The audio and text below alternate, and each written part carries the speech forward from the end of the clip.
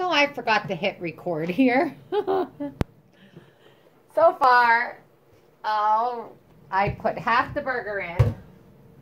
Where did I put the burger? I must have put it back away. Right there's the burger, seven eggs. We put turmeric, parsley, chia seeds, garlic, wheat germ.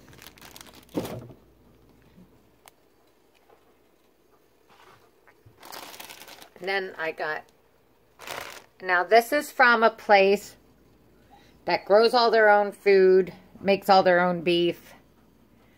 Um, it's um, an Amish owned store family. Now they're pretty big. I mean, but I put all the eggs. I put seven eggs in mine, eggshells and all.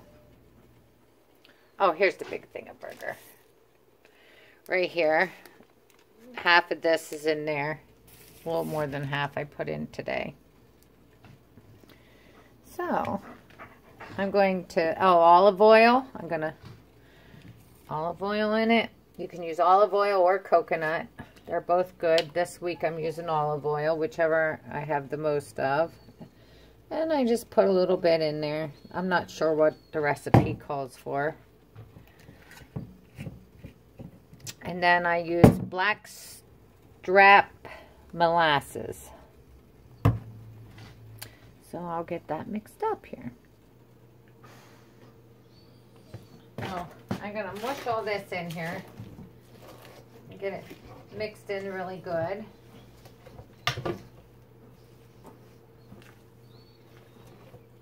I started, I didn't hit record when I started doing it. That's why.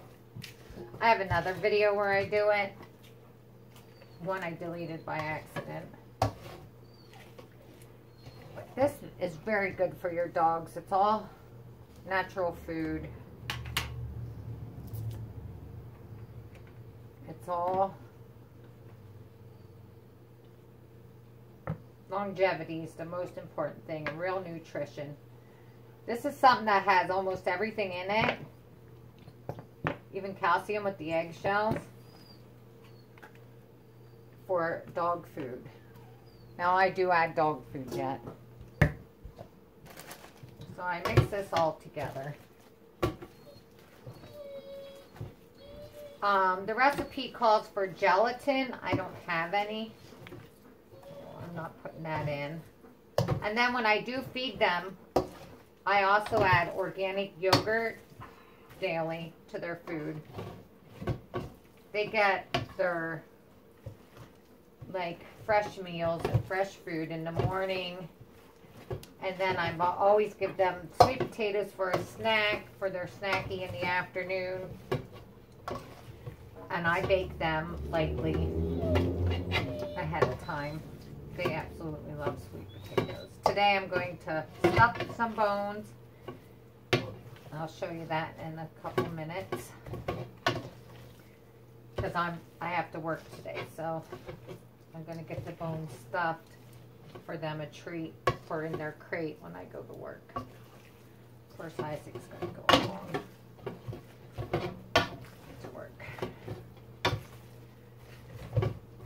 But anyhow, I do this. I mix this all in good. I wish I had gloves. I'm out of gloves again because I use them to pick up dog poo. Put rubber gloves on and go out in the bucket and just pick it up. I get the dog poo off. no messing around with the pooper scooper or anything. Five gallon bucket and gloves. Makes it easier. We're talking poo and this together.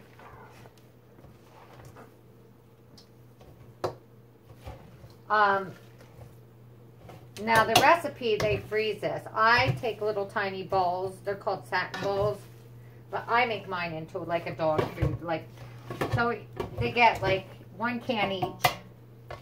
What would be a can dog food every day of this in their morning feed with yogurt. I put this in.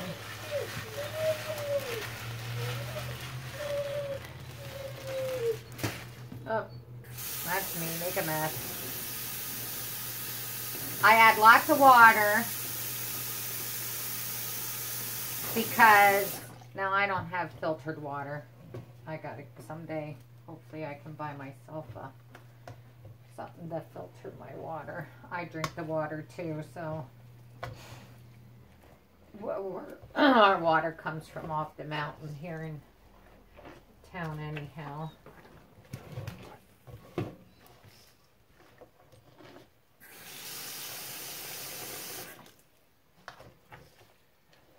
But I add lots of water because I worry about bloat. So I let the oatmeal absorb to absorb it first. I don't think the recipe calls for water either, but I add water. Moisture rich food is good for the dogs. Dry kibble is like, just kibble alone is like giving your dog cereal without milk every single day of their life. Which mine have to get kibble. So I have more money to buy more raw. Now I do get organ meat from the butcher. They get liver. I have that in another video. I called him the other day. He was, didn't butcher so lately, so he didn't have any any liver. I mean, I can go get chicken livers and stuff. Any store for me is an hour worth of driving.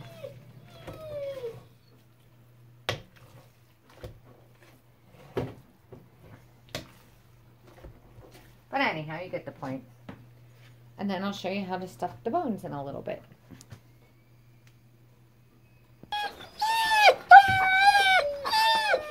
So here's the finish. There's bone broth and also chicken in here and yogurt. Now I put about a tablespoon of yogurt and then I use these digestive enzymes. They're working for me so and I put that on also. And they're just having a fit because I'm making them wait here. So that's what every morning looks like here, unless I do a different uh, food. All winter long, I seem to do the satin balls as dog food, with dog food. Now, this is Farmer's Market dog food this week because I didn't make it to the feed mill to get it. I feel as long as the dog food is brown and does not have um, coloring in it. Like colored dog food with fake looking peas and stuff. Just get real peas if you're going to give them peas. And then here's their sweet potato they'll get later. I'll cut that up later. And I'll do bones for you next.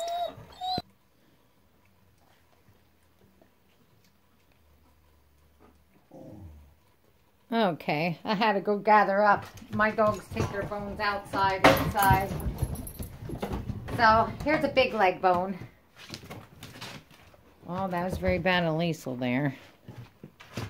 I'm using some fermented apple also to put in the end of it. You know, you can put fruit and veggies or whatever you want. A lot of people use a Kong. I use the bones. Especially my dogs take stuff and... But anyhow, I put that in. We still have a little bit of tendons on them.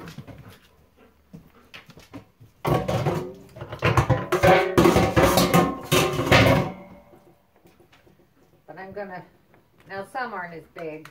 I just gathered around what I could find. I'm sure I could find about 20 more out in the yard.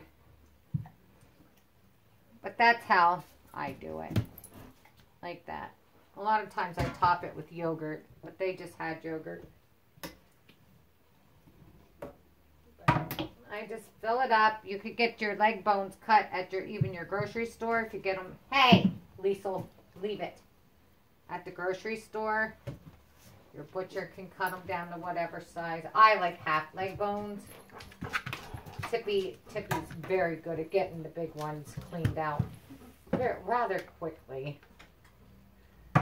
She's good at it.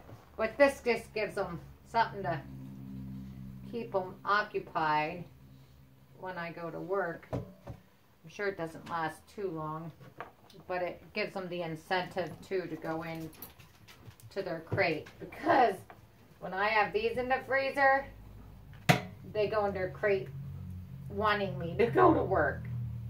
I really like this satin balls. Mine are the recipe. Mine have the recipe what's on the recipes for the satin balls, but I add all the spices in and herbs for their health. But I add uh,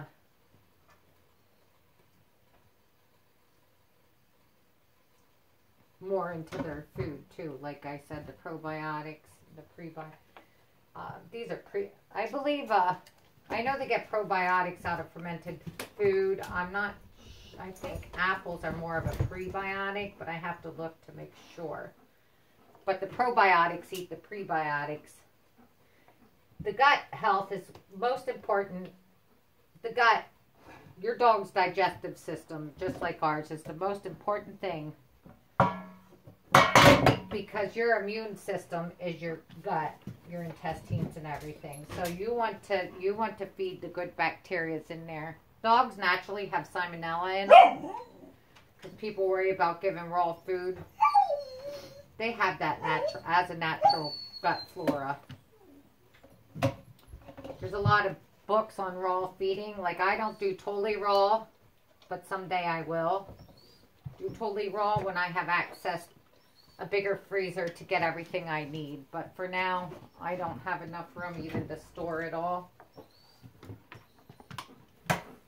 But anyhow, this is what they'll get. They think they're going to get it now, but it's going in the freezer. Last couple days, I do. I They make their own peanut butter at that store I go to, and I've been until I got this made today. I was too sick yesterday to make it. So they just got Hamburg and I dumped everything in. I didn't, because I wanted to do a video on this.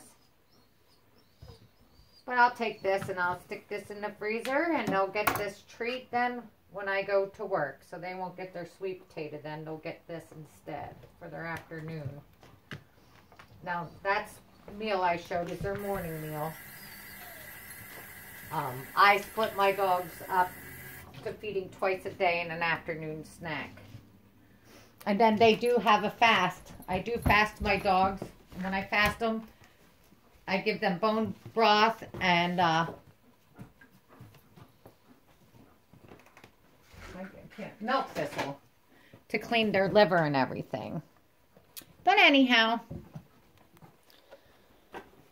so there they are all done. I'm going to stick the dog dish and all in my freezer. And then they'll have themselves some stuffed bones when I go to work. And they look forward to it. Please like and subscribe.